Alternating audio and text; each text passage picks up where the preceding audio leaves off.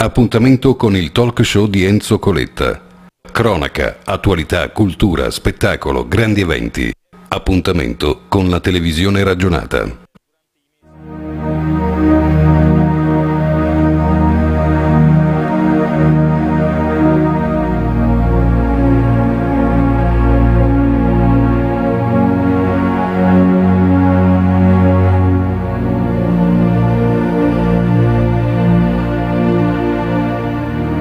Buonasera, benvenuti al talk show di Enzo Coletta. Grazie, buonasera. Torna paese che va, ma prima di svelare chi sono gli ospiti e di quale paese si tratti, linea alla nostra Simona Renzetti. Buonasera Simona e benvenuta anche a te. Buonasera Enzo, buonasera ai numerosissimi telespettatori che ci seguono da casa e anche numerosissimi ospiti che questa sera interverranno per meglio raccontare il paese di turno. Vedo Prima- che sei in buona compagnia, ci sono tantissimi, Tantissimi ospiti questa ospiti. sera. Ricordiamo subito le frequenze di UnoSat e salutiamo una persona in particolare. Che, Ecco, eh, sì. sì, un saluto a cui io tengo particolarmente. Signor Prego. Tommaso Trisolini che ci segue da Parigi, al quale facciamo un applauso. Signor Tommaso, non posso dirle, signor Tommaso, da chi le viene eh, tributato questo applauso perché non posso svelare il paese, lei già Eh. sa sia, ma lo saprà tra poco e sarà davvero molto contento. Prego Simona. Bene, appunto stavi dicendo prima gli orari, li diciamo adesso? Sì, possiamo dire gli orari. Perfetto. Il martedì su TV7 in prima serata alle 20.40 e il mercoledì alle 7.30. Invece su Unosat canale satellitare il sabato alle 21 e la domenica alle 16.05. Il canale è a sempre 862. Bene, prima di iniziare ringraziamo lo sponsor ufficiale famosissimo ARS, Agenzia Regionale dei Servizi per lo Sviluppo Agricolo qui in Abruzzo, ma questa sera ringraziamo anche un altro sponsor, la Farge Jessie. Prego la regia a dare lo spot. Adesso andrà lo spot La Farge Jessie del gruppo La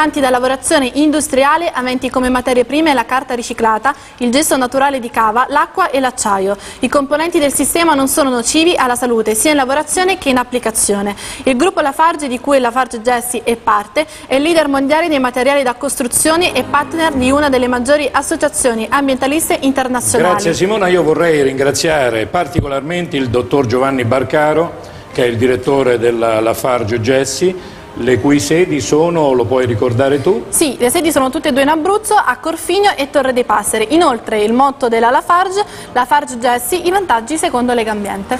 Benissimo, allora cominciamo subito con la Sì. presentazione dei nostri ospiti.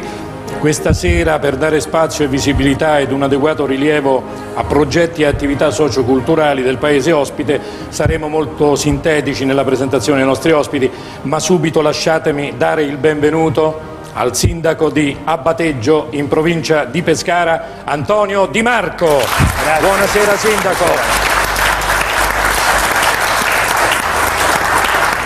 Tutto è nato da una telefonata che ci arriva da Parigi, l'abbiamo detto più volte in televisione, magia della televisione, dei media e quindi questa volta eh, si è concretizzata questa, questa ipotesi, questo progetto e noi siamo ben lieti di ospitare lei e il- i, i suoi cittadini. Grazie a voi sono, sono davvero tanti, eh? avete davvero dimostrato eh, compattezza. eh? Direi notevole compattezza, entusiasmo e partecipazione in questo evento, perché per noi è un evento, insomma. Cominciamo subito a dire che è nato nel 70 ed è laureando in economia e commercio. Le principali aree di specializzazione in cui opera sono la contabilità ed amministrazione, turismo rurale, associazionismo turistico. È stato socio dalla- della Proloco dal 90 e presidente dal 2004, facendola diventare punto di riferimento a livello regionale e nazionale. Nel 98 progetta e promuove il premio letterario Maiella tra i cinque più importanti in Abruzzo. Nel 2000 concorre a presentare il progetto per la manifestazione di interesse Montagna Madre. È referente per la provincia di Pescara per il progetto Sapori e Sapere, per la promozione turistica del territorio e valorizzando i prodotti di nicchia. Ideatore e promotore di numerosi convegni e seminari come Sulle vie del Farro e Anno internazionale dell'acqua. ed altri per l'imprenditorialità giovanile e per l'integrazione sociale.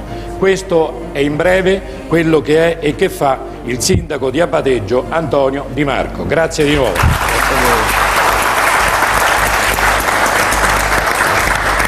È nata ad Abbateggio nel 63, laureata, no, ho visto il sindaco un po' sorpreso perché mi ha detto non, le, non, diciamo tutte le cose che io faccio. Va, va bene così. Quindi, sì, dice ma come, eravamo d'accordo, ma comunque il talk show, caro sindaco, si presta quindi a dare notizie sull'ospite e quindi ad iconografarlo e quindi noi lo facciamo tranquillamente. Allora, è nata ad Abbateggio nel 63, laureata in lingue e letterature straniere, ha conseguito vari attestati nel settore della didattica e dell'amministrazione, dal 98 è componente del direttivo della locale Proloco e dal 27 aprile ha assunto l'incarico di presidente ricevendo il testimone dal sindaco. Come lui è animata da grandi entusiasmi, ve la presento, è la dottoressa Enza Di Marco.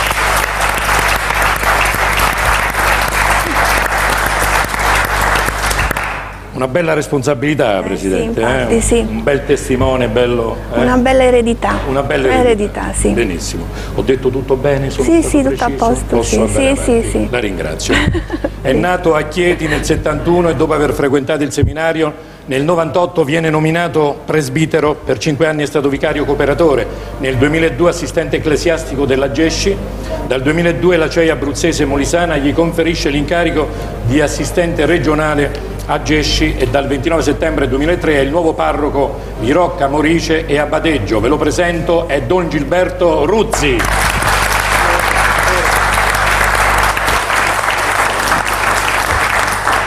Ultimamente Don Gilberto, intanto grazie per essere qui Don grazie Gilberto, so che ha tanto ringraziato il sindaco per averla coinvolta sì, in questa avventura televisiva, in questo evento dobbiamo dire. E poi anche perché ci vedranno tante persone, 70.000 sul terrestre, non smetto mai di ricordarlo perché per noi è un grosso vanto. E poi andiamo sul satellite e quindi ci vedranno chissà quante persone.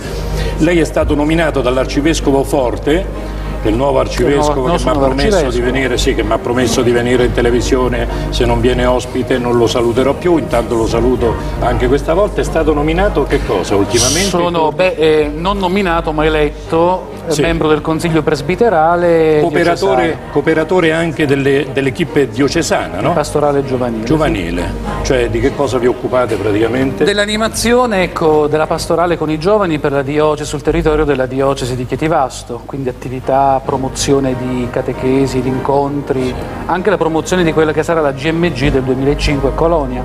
Quindi vi intratterrete molto con i giovani? Abbastanza, di... c'è un'esperienza già con la Gesci che continua eh certo, certo. La Gesci nasce proprio con indirizzo proprio giovanile, eh certo, sembra, no? sì. Bene, grazie Don Gilberto. Andiamo avanti, il 13 novembre del 94 viene inaugurato ad Abbateggio il monumento ai caduti con il desiderio di ricordare ed onorare tutti i morti, tutti quanti sono morti in guerra seguendo la via dell'onore e della virtù. Noi questa sera abbiamo, mm, con tanto desiderio, abbiamo voluto ricordare, vogliamo ricordare un figlio di abbateggio caduto nella battaglia di El Alamein, la medaglia d'argento al valore militare, il sottotenente della seconda batteria gruppo Semovente che prima dell'ultimo assalto si beffò della morte e lo disse anche al suo comandante. Ricorderemo questo eroe con la presenza di suo fratello Enrico Breda.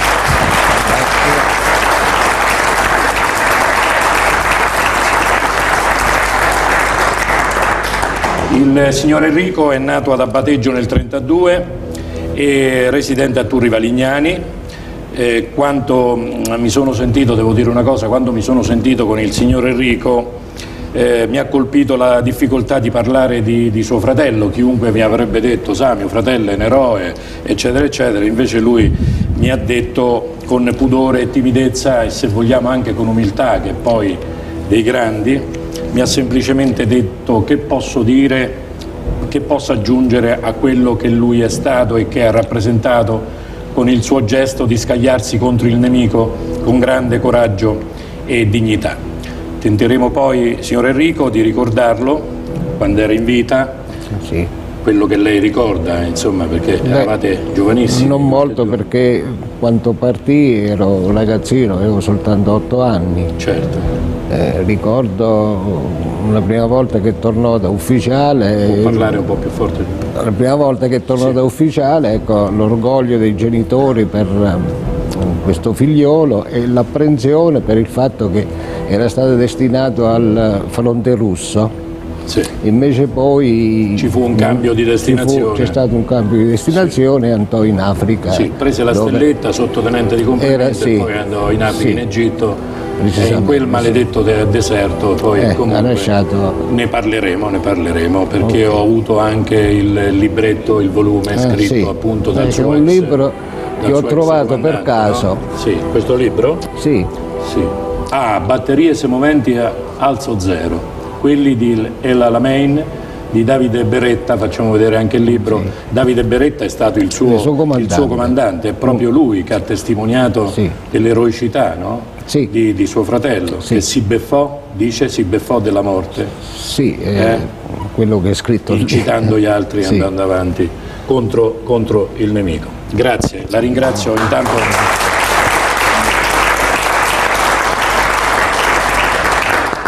Allora, il prossimo ospite è nato ad Abbateggio nel 61, laureato in ingegneria civile dopo il servizio militare presso l'OM di Chiedi, eh, ospedale militare, va a fare il consulente per diversi enti pubblici, è stato funzionario della provincia di Pescara, è stato consigliere comunale prima di maggioranza, poi di opposizione, oggi è assessore ai lavori pubblici, è responsabile del servizio tecnico del comune di Abbateggio. Da sempre si è occupato di associazionismo locale, grande appassionato di musica, raggiungendo un buon livello con l'organo classico, infatti da oltre 25 anni tenta di farlo acquistare a Don Gilberto un organo ma non ci riesce, ve lo presento, lui comunque è sempre l'organista della chiesa parrocchiale di San Lorenzo, appassionato di storia e tradizioni locali, è l'ingegner Gabriele Di Pierdomenico.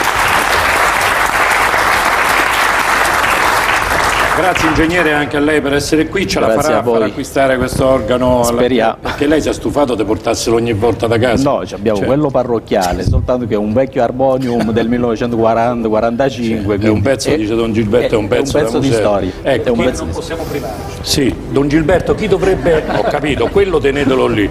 Però, dato che lui sono 15 anni che studia, eh, Ah, 25, vorrebbe, 25 anni, vorrebbe appunto cimentarsi con un, con un organo. Chi proviamo. intervenire per, per acquistare? Qualcuno, ma interverrà. Interverrà qualcuno? eh? Non c'è eh, solo la Divina Provvidenza, No, ma no, no. qualche volta c'è. Passa per vie molto umane la Divina Provvidenza. benissimo, benissimo.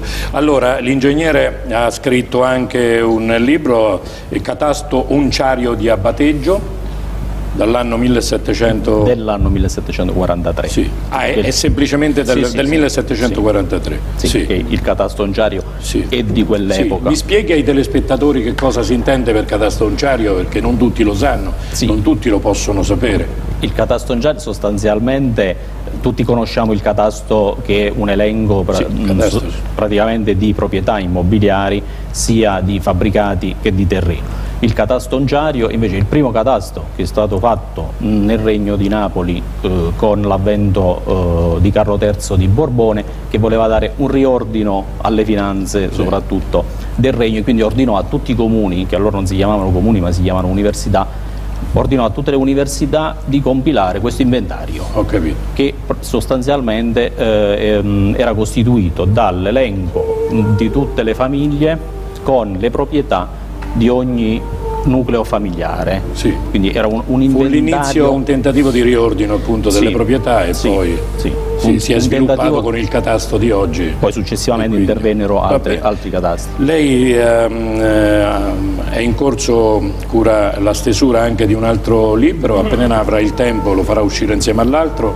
Eh? Speriamo, perché questo Perché voglio dire, sul catastonciario è pronto, però ancora non Sì. si riesce a, Sì. a pubblicarlo. Su quale argomento? Su quale argomento? L'altro sempre- riguarda sempre Abbateggio per un periodo storico ben preciso, eh, infatti ehm, probabilmente lo, chiameremo, lo chiamerò Abbateggio nel, nel periodo storico dello Stato farnesiano. Va. Quindi parliamo, Le auguriamo che possano vedere la luce questi due volumi. speriamo. Speriamo che non si dedichi al terzo perché altrimenti poi Beh, mm, eh, diventa poi difficile trovare una tipografia che se li accolli tutti e tre, ma anche lo sponsor.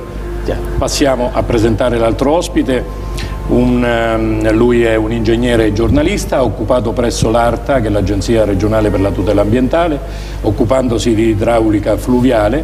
Ha ereditato 8.000 volumi dalla nonna materna, facendo da subito un bagno di cultura.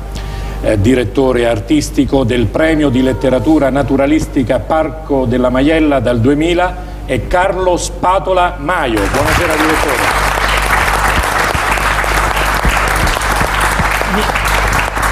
Ringrazio direttore per essere qui, è un collega, ho detto bene, eh, Perfettamente. eh, 8.000 volumi ereditato da Sì, Quindi diciamo proprio- sono di famiglia, non sono Sì. tutti miei, diciamo Sì. attualmente Scritti sono tutti indivisi. Tutti no, no, no, sono libri acquist- acquistati da avi di, Ah, ecco. di varia provenienza che sono in qualche modo pervenuti tutti nella stessa biblioteca in Sì. una casa che abbiamo in Umbria e attualmente sono comuni e indivisi tra me e mia sorella, quindi diciamo Certo. che sono a disposizione della famiglia, poi sono a disposizione anche di, eh, per, per ricerca, spesso veniamo contattati per aprire la Lei biblioteca a casa privata. in Umbria e ad Abbateggio, no? Casa in Umbria da Sì, Battaglia. voglio dire, regge il confronto Abbateggio, le colline, il posto. Praticamente cerchiamo in qualche modo con l'aiuto del sindaco e di tutte queste persone che ci aiutano, cerchiamo di rendere Sì. l'Abruzzo, di dare all'Abruzzo tutte le possibilità che hanno magari regioni che hanno cominciato da prima, Sì.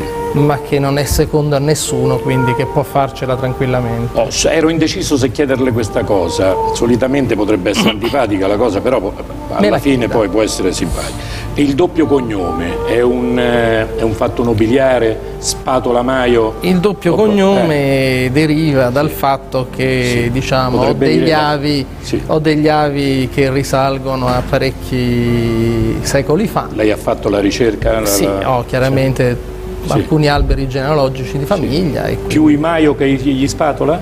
e degli Spadolo so abbastanza poco, devo dire. Dei Maio invece so la- una, una discendenza che diciamo è documentata sicuramente al 1200. Ho capito. E poi ci sono Provenienza altre- siciliana mi sembra, No, vero? i Maio sono mm, napoletani e, il ramo, e un ramo si è trasferito in Abruzzo. Tant'è vero che c'è un palazzo Maio a Chieti, insomma uno, uno dei palazzi più belli di Chieti Certo. si chiama Palazzo Maio. Benissimo, grazie direttore, mi ha tolto una curiosità. Allora andiamo avanti, abbiamo, eh, caro Sindaco, vogliamo subito parlare brevemente, accennare ai progetti che sono in atto, altri hanno visto la luce, grazie al suo impegno, all'impegno di tutti i suoi collaboratori. Intanto a Bateggio guadagna le pagine dei giornali, abbiamo anche dei titoli che sono, che sono apparsi, i vari quotidiani hanno parlato di questo paese, questo qui è il primo, le casette di pietra conquistano l'America, questo qui è il primo titolo, può dire delle cose C'è un grande progetto in atto che riguarda proprio il recupero del centro storico di Abbateggio, proprio grazie a una legge regionale, la legge 13. Noi abbiamo voluto proprio che i privati fossero come dire, i protagonisti di questo importante momento di valorizzazione del borgo più antico del paese. E devo ammettere che c'è stata una grande partecipazione, sono, più di 30, sono 33 esattamente le istanze presentate, vagliate al momento in regione in attesa di comunicazione ufficiale da parte della Regione Abruzzo del finanziamento di 250.000 euro che noi andremo a spalmare letteralmente sul centro storico. Una scelta questa eh, dettata anche dalla necessità di eh, recuperare il più possibile le abitazioni del centro storico e per farle proprio diventare anche luogo di frequentazione turistica perché la più grande esigenza che oggi noi abbiamo è quella appunto della ricettività quella di una volta, quella tipica, quella insomma che vede anche il recupero appunto della pietra, del mattone e del legno. Questo è piaciuto tantissimo agli americani soprattutto, ma anche agli Certamente, inglesi e ai certamente. francesi.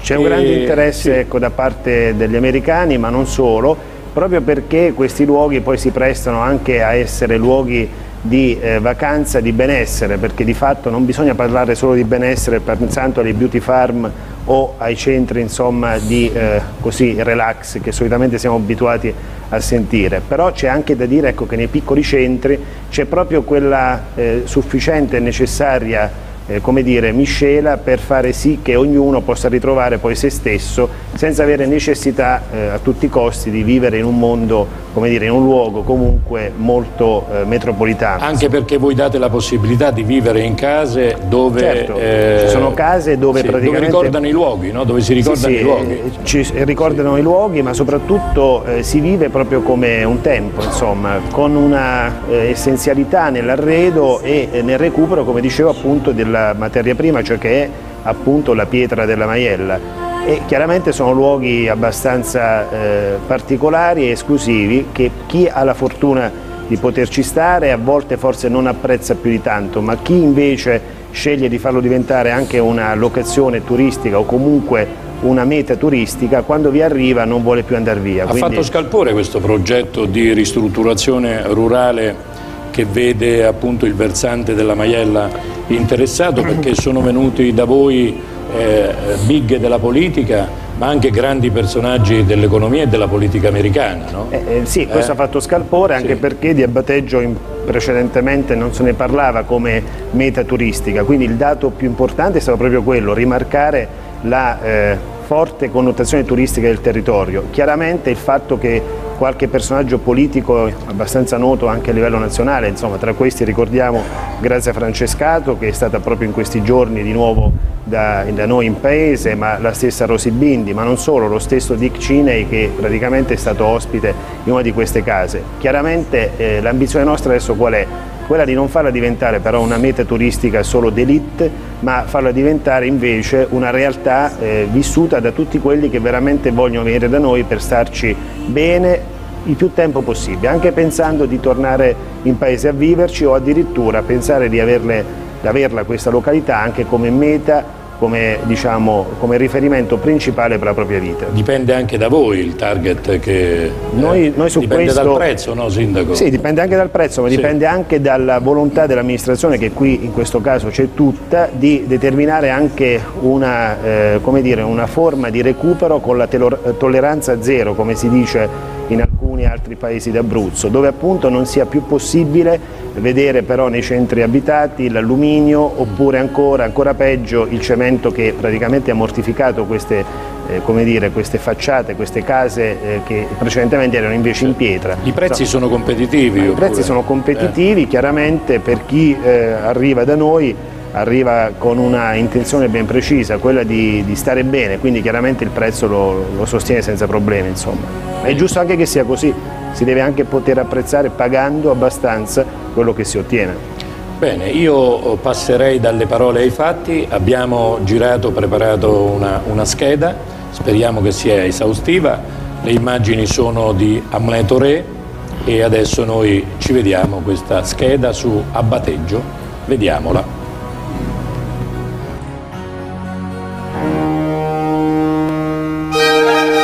Sono le verdi colline, lo splendido paesaggio a far da cornice all'angolo di paradiso naturale che visitiamo oggi. È Abbateggio, piccolo paese della provincia di Pescara, posto a 450 metri sul livello del mare, all'interno del Parco Nazionale della Maiella. Le sue origini sono molto antiche e sembra si possano far risalire verso l'anno 866 d.C. Il suo nome si dice derivi dal nome proprio Bateius oppure da Castrum Abategi. Iniziamo la nostra conoscenza del paese partendo dalla sede del municipio al centro del paese e passiamo poi alla visita della chiesa del santo patrono, San Lorenzo Martire.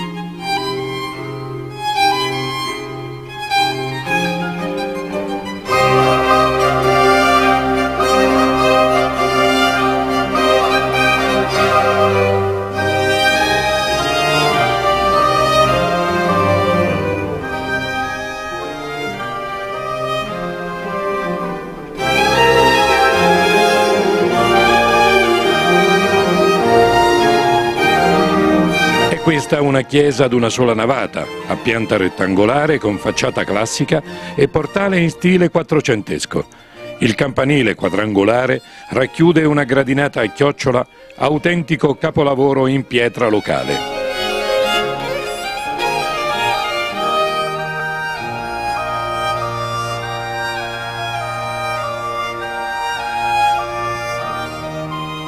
È di un barocco moderno il suo interno con semicolonne rettangolari con capitelli, rosoni e stucchi, opera del ticinese Pietro Francesco Canturio, nato nel 1723, che fu in questa zona fra il 1774 e il 1781 per lavorare anche nelle chiese di Caramanico e Rocca Morice.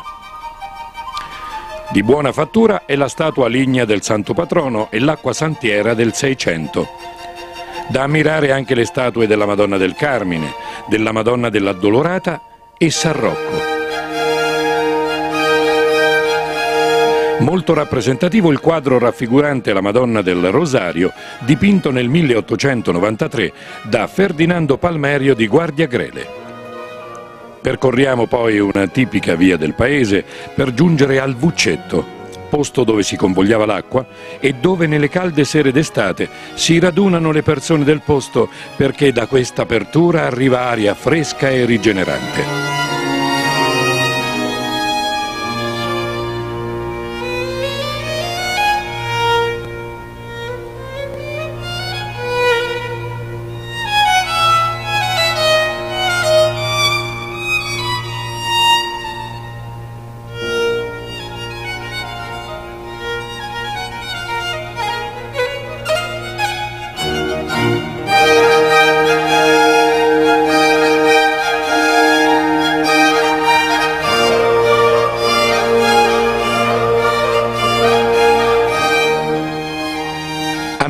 Durante la nostra passeggiata la facciata della chiesetta della Madonna del Carmine di piccola fattura, tutta costruita in pietra locale. Da qui nella zona sottostante ci attende un panorama veramente incantato e lo sguardo può spaziare dalla Val Pescara con i suoi numerosi paesi alla maestosità della Maiella. Saliamo ora su una collina rocciosa, a breve distanza dal centro storico del paese, dove incredibilmente riusciamo a scorgere l'essenza delle caratteristiche naturali della nostra regione. Il Gran Sasso, la Maiella. Qui sorge il santuario della Madonna dell'Elcina, con la sua chiesa ricostruita in pietra locale dalle genti del posto nel 1927, ma di antica fondazione. Riveste un notevole valore storico-artistico-religioso per tutta la vallata. La tradizione racconta che un giorno due pastorelli muti del posto videro su un albero di Elce, in Leccio, una signora e ai piedi dello stesso albero un quadro raffigurante la Madonna col bambino.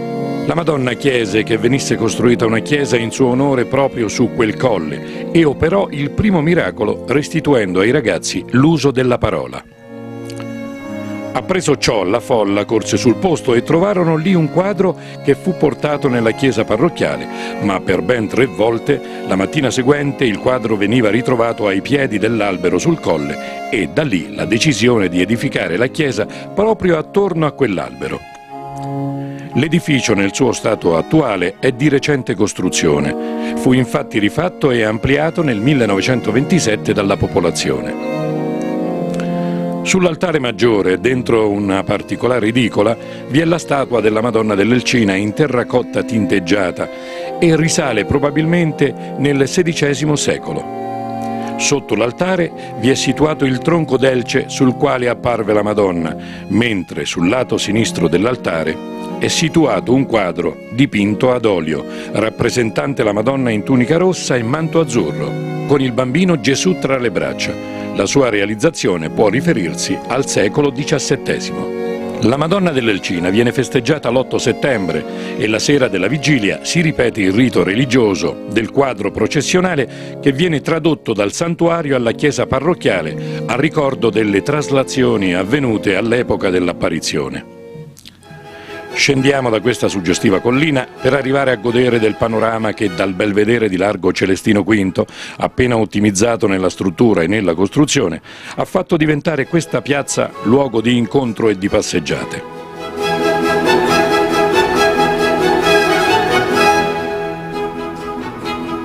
In questa vicinanza osserviamo anche il riadattamento della vecchia scuola elementare ad Ostello.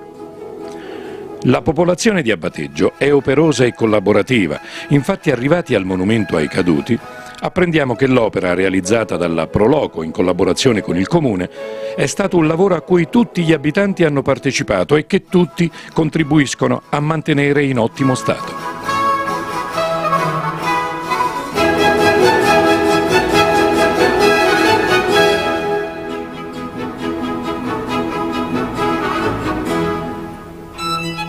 Lasciamo ora il centro abitato per giungere al sito archeologico denominato Valle Giumentina, luogo che ha accolto l'uomo sin dall'epoca preistorica. Di notevole interesse sono le capanne in pietra a secco dette tolos, a forma circolare e coperte a cupola, di struttura simile ai nuraghi sardi, che venivano utilizzate dai pastori per il riparo notturno e la lavorazione del formaggio.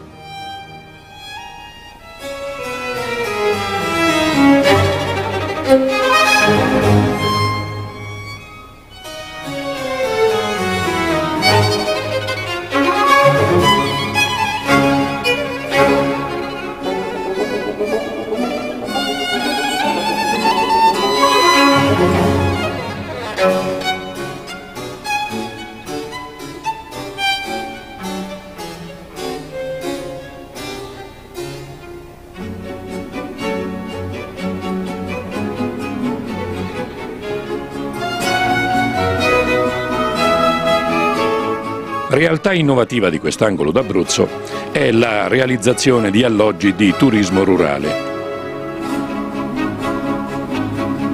Vecchi casali ormai abbandonati sono stati restaurati mantenendo per intero le strutture originarie e sono stati adattati ad accogliere i turisti che vogliono trascorrere periodi di vacanze e relax in posti che, come a Bateggio, offrono la possibilità di stare a contatto con la natura e a pochi passi dalle montagne più belle d'Abruzzo e dal mare Adriatico. L'amministrazione sta curando in modo particolare le loro ristrutturazioni, facendo seguire regole ben precise ai proprietari, per fare in modo che mantengano inalterata l'architettura originaria del posto, riutilizzando pietra locale, mattoni e legno. La pietra deve essere lasciata a vista, non intonacata, banditi infissi in alluminio e materiali moderni. Queste strutture sono diventate meta ambita da turisti francesi, inglesi ed americani attratti dalla qualità del restauro e dalla possibilità di trascorrere le vacanze in case che testimonino la storia dei luoghi. Le stanze di queste case di pietra, circondate da olmi e castagni, hanno ospitato recentemente big della politica e della cultura. Questi luoghi rappresentano il luogo ideale per completare un libro, fare lunghe passeggiate o socializzare con i vicini.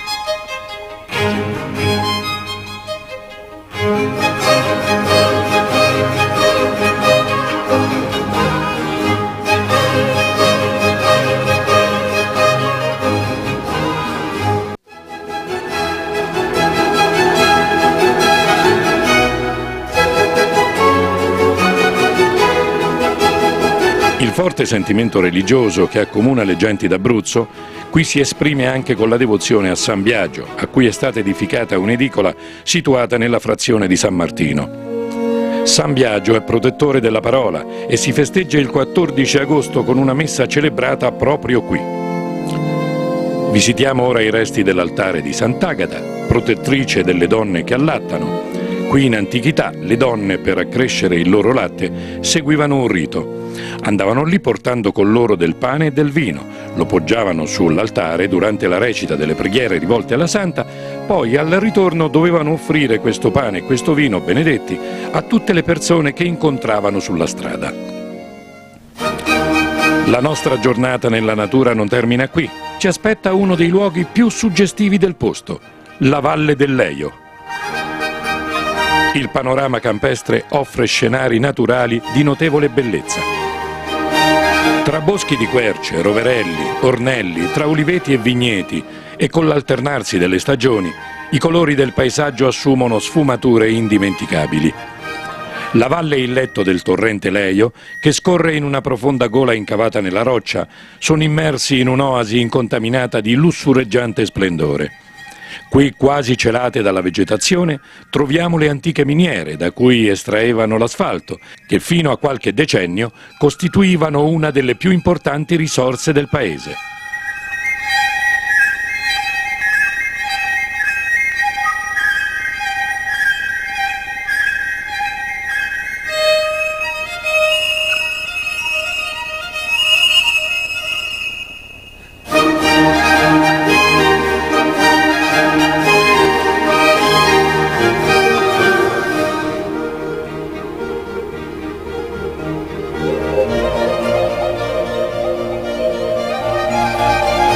Lasciamo questo posto dove abbiamo trovato storia, cultura, tradizioni, cibi genuini, grande senso di ospitalità e sana amministrazione, ponendo a batteggio nella lista dei tanti gioielli d'Abruzzo che compongono il nostro inestimabile tesoro.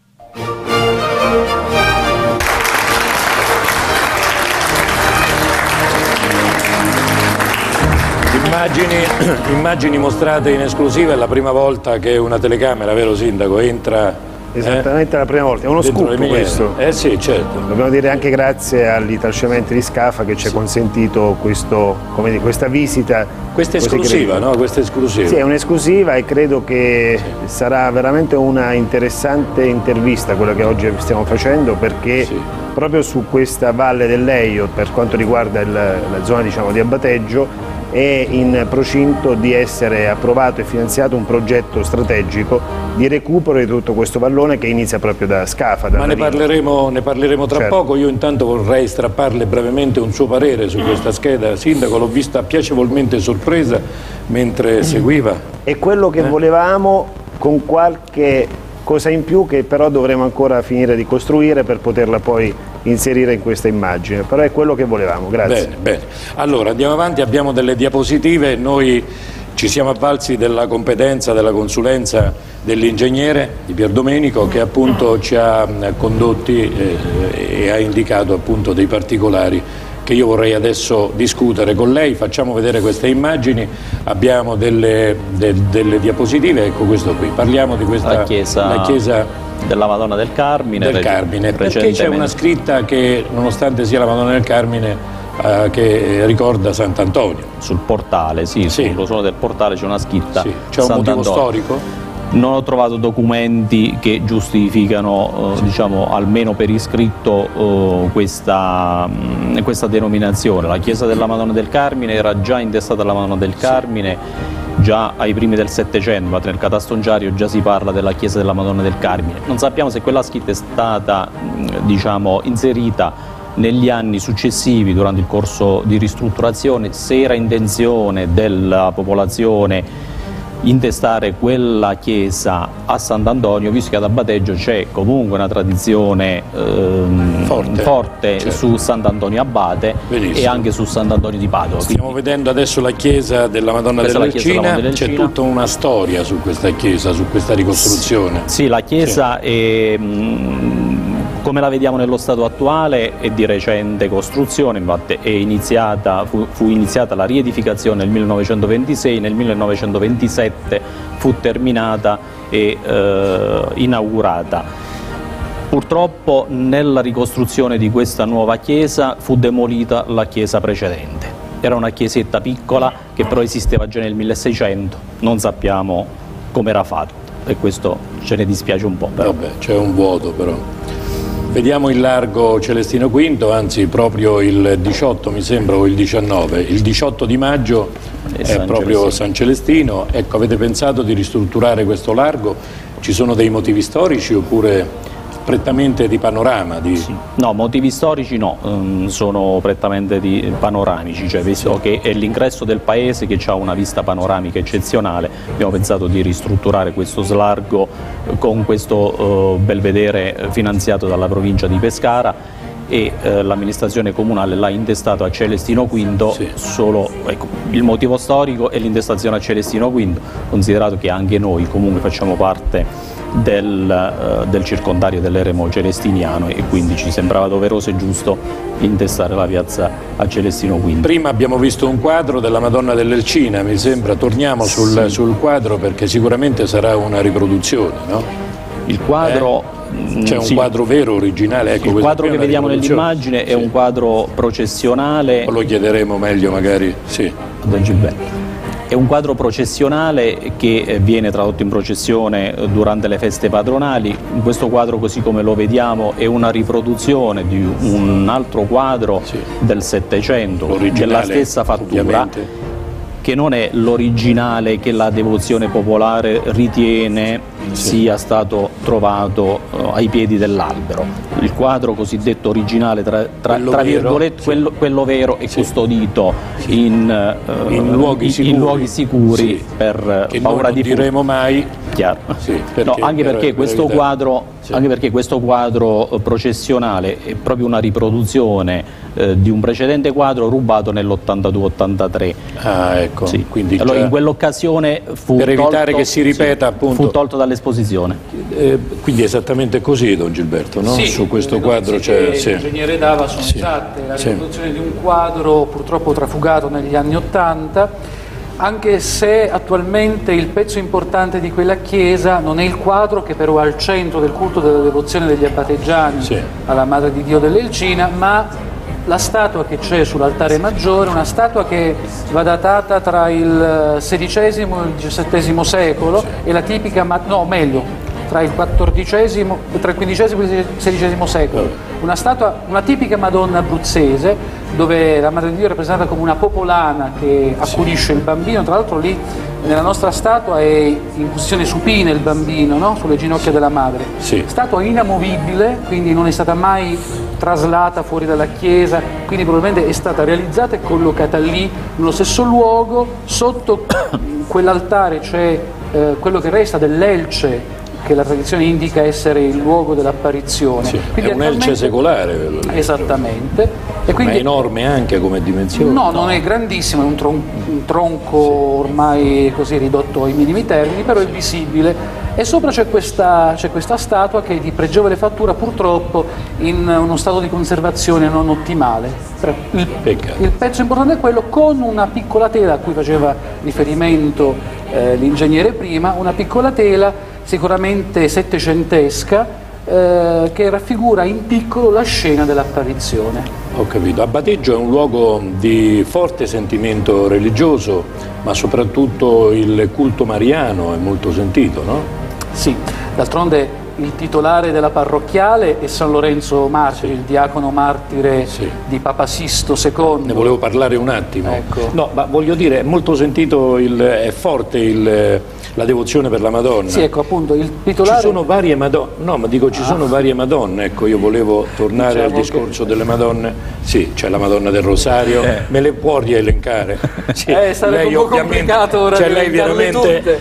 ho capito, Diciamo lei- che io ho capito che lei ha pozzato te perché Diciamo Sì. che il culto mariano è unificato in una figura della, della Sì. Madre di Dio e basta, stop. Ce ne sono. Eh, vari- I vari titoli mariani si sono presenti anche in abbateggio, Sì. il più importante per devozione popolare è quello appunto della Madre di Dio Però dell'Elcina. spieghiamo, la Madonna è sempre la stessa. È sempre la stessa. Poi c'è- no, spieghiamolo un po' per tutti perché altrimenti La Madonna è una soltanto, Finché- la Madre una- del Signore è una soltanto e come ad una mamma qualunque, come a mia madre, come alle nostre Certo, mamme eh, diciamo certo, bella, cara, Certo, eh? certo. e così alla Madre di Dio diamo diversi titoli.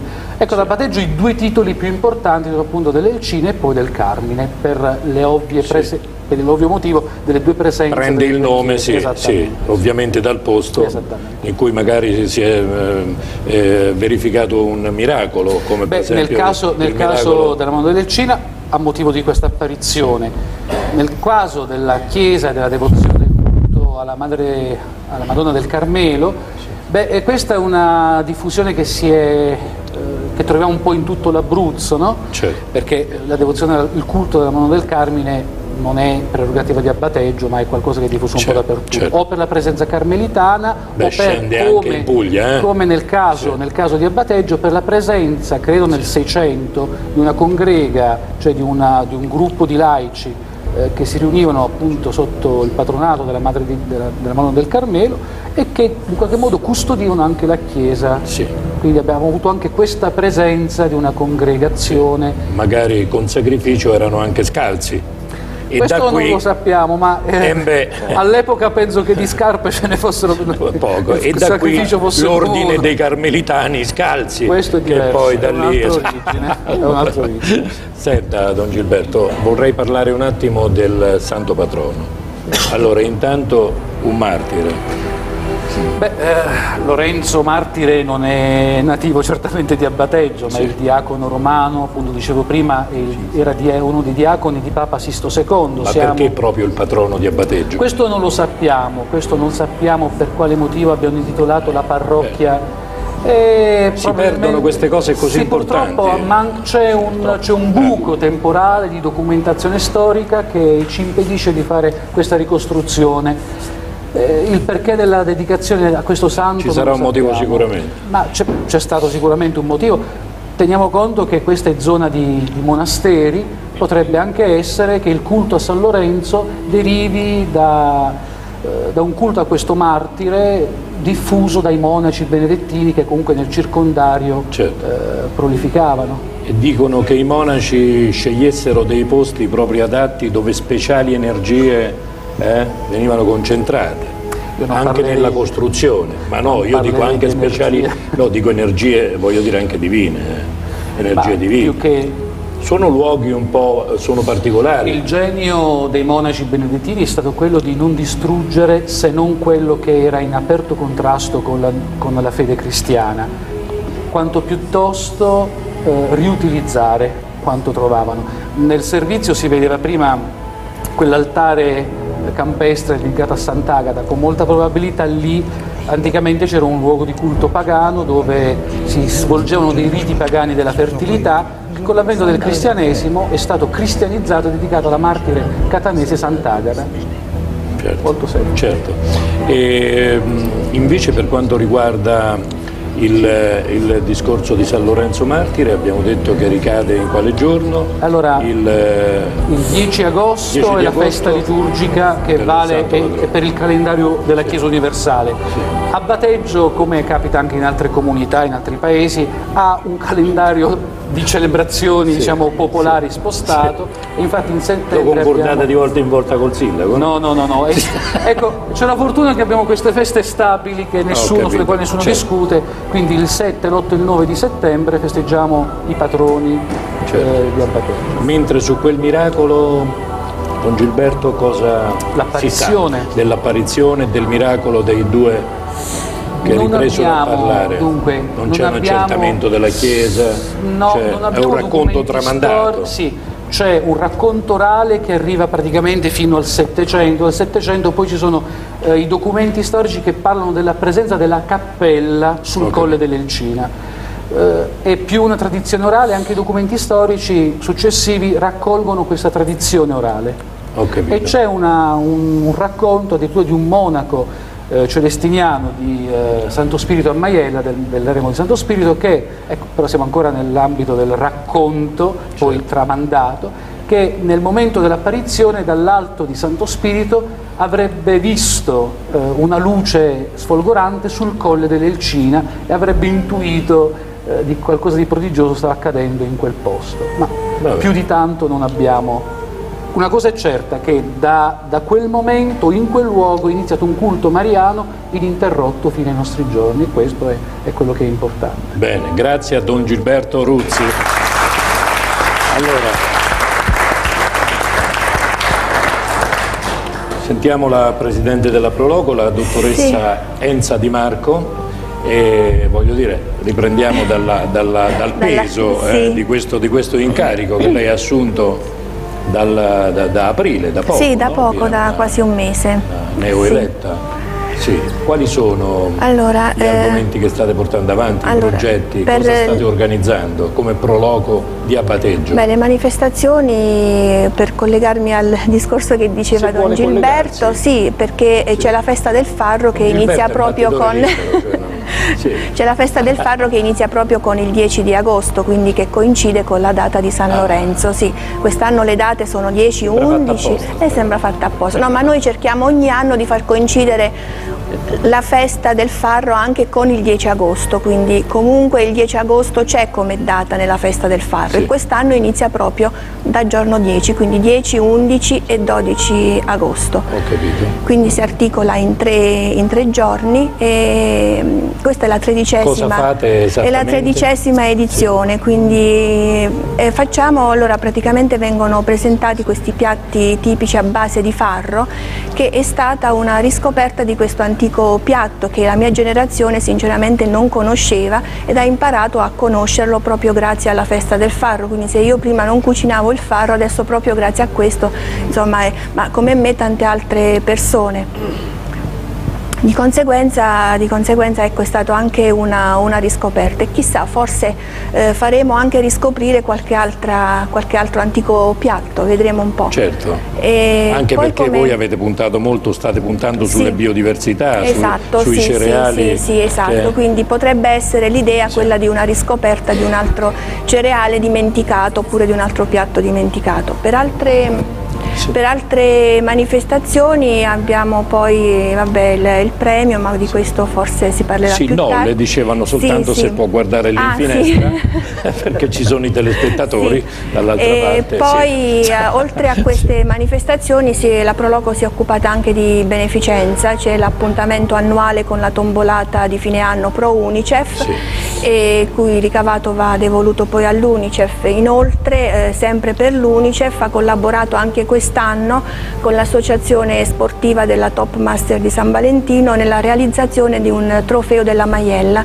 che quest'anno è arrivato alla, alla quinta edizione. Quindi insomma si dà un po'... Questo trofeo in cosa consiste? È una gara eh, sportiva eh, di ragazzi che fanno, di atleti che fanno karate ed è un, un torneo, i ragazzi fanno competizione ma più che altro si divertono di tutte le fasce di età e quest'anno abbiamo avuto l'onore di avere la Presidente del- dell'Unicef eh, che Ah. è venuta a premiare i ragazzi.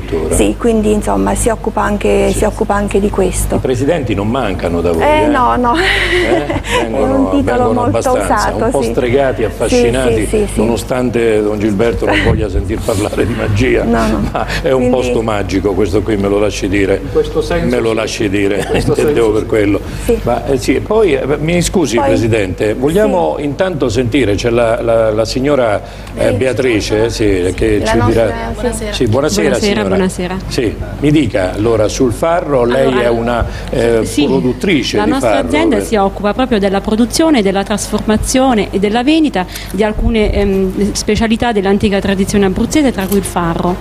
Il nostro cantiere è la Valle Giumentina, eh, dove facciamo un'agricoltura attenta alle problematiche ambientali, dove rinunciamo volentieri alle concemazioni chimiche, tutto a vantaggio del sapore e della qualità del prodotto.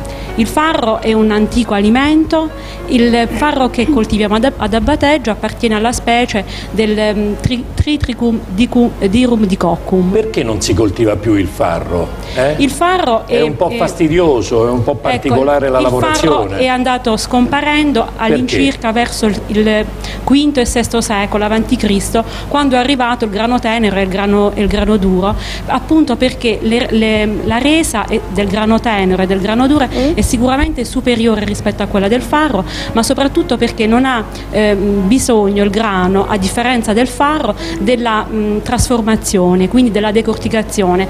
Il farro si raccoglie vestito, mentre il grano si raccoglie già pronto. Quindi questo è stato sicuramente un motivo ehm, per cui questo alimento è un po' scomparso negli ultimi anni. Alimenti se di grande dire, sapore, alimenti che prendono anche se dal devo- suo nome, no? I eh, sapori di Bea? I sapori di Bea, sì, l'azienda prende, mh, Benissimo. i prodotti prendono il, il mio nome. Bene. E, mh, devo dire che comunque... Ma è una cosa bella, voglio dire, una cosa... Sì, sì, sicuramente sì, sì.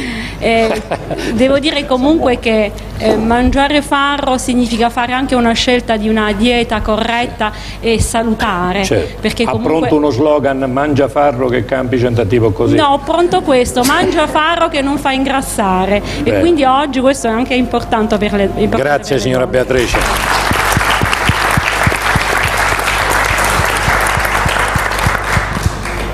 Allora, signor Enrico, noi vogliamo, torniamo adesso ad Antonio, abbiamo anche una foto, la vogliamo far vedere questa foto. Torniamo un po', eccolo qui, lo stiamo vedendo, eh? Eh, le somiglia, eh? Non si commuova, però, eh, purtroppo sì. Eh, ho capito. No? Eh? Che tipo era suo, suo fratello? Puntiglioso, no, forte, orgoglioso? Or, no, non direi orgoglioso, baldanzoso, eh. questo forse sì, era esuberante. Infatti è partito volontario, non è che era stato... Come tanti magari Come in tanti, quel periodo partirono. Eh, non riesce adesso a parlare, vuole no, riprendersi un attimo? Più che altro non è che eh, mi faccia rivedere quel volume. Abbia intanto. dei ricordi, sì. ricordi, precisi perché eh, avevo soltanto otto anni, come dicevo prima. Allora, come dicevamo, questo, questo libro parla della, della battaglia, la racconta battaglia la battaglia di El Alamein.